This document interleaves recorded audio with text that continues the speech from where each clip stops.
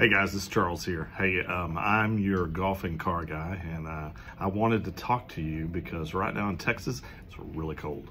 Uh, matter of fact, uh, it's colder than it's been in a long time in the Austin area. Uh, last time there was ice and all kinds of craziness. This time, it's just cold. Um, it's scarf and uh, beanie weather and all that good stuff. Nobody's really out buying cars, so I've got a few minutes, but I want to tell you about one thing that's a new feature with the Chevy mobile app. Uh, a lot of you have bought a Chevy or a GM product over the last couple of years and um, you downloaded the mobile app. Um, your salesperson should have helped you set that thing up and all that good stuff.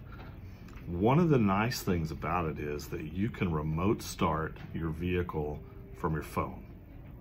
So that means in the morning when I get ready and I'm thinking about leaving, making the last little bit of coffee or, you know, making my breakfast sandwich or whatever, I go ahead and remote start my car.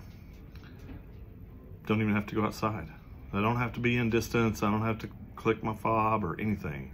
You can do it from your phone. So um, uh, if you haven't tried that, give it a shot. And um, it's one of the nice things about uh, a new car these days.